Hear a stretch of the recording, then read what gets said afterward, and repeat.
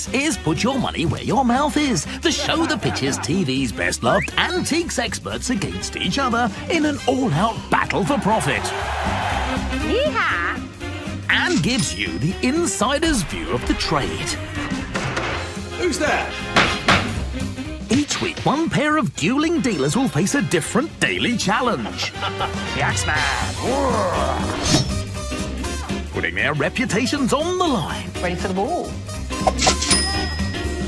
And giving you their top tips and savvy secrets on how to make the most money from buying and selling. Get in there. Our lads are soon perusing the possibilities, and Paul has found a job lot of old posters estimated at 80 to 120 pounds, including one with particular appeal. These guys are mainly from Liverpool.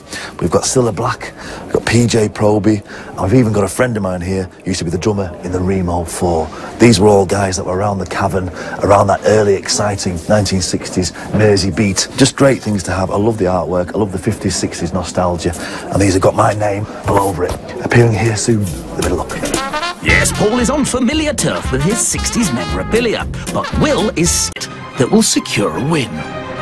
Hayes and Action now head home to assess their acquisitions, and back in Morecambe, Paul is preparing for his selling adventure.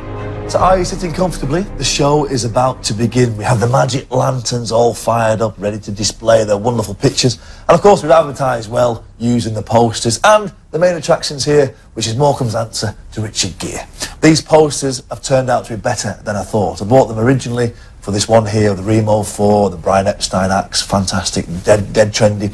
Amongst them are two posters which represent acts here at the Winter Gardens in Morecambe. How great is that? I bought them down in to find the right buyer for each item. They'll be hoping to raise enough money to come out on top in today's competition. But remember, no deal is sealed until the shake of a hand. And Paul is the first on the trail of potential profit when he travels to Standish near Wigan with his 1960s poster, having targeted Harry P., the drummer of Merseybeat band the Remo 4.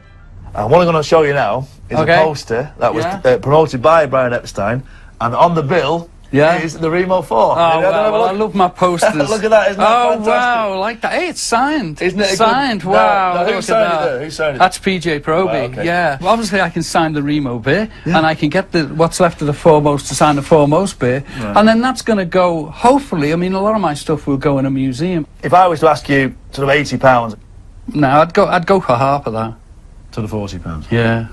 you, you, you couldn't sort of make it around Fifty, and we'll, you know, and I'll sign it for you. I'll sign the back for you. How's that sound? No, that takes money off now.